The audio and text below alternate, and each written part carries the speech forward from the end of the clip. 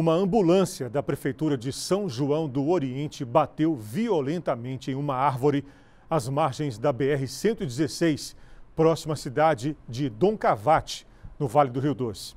O motorista, infelizmente, morreu na hora. Rodrigo Aredes dirigia o veículo. Ele não resistiu aos ferimentos. Tinha 43 anos e deixa mulher e dois filhos. Amanhã, no Balanço Geral com Nicomedes Felício, outras informações sobre esse triste acidente em Dom Cavate.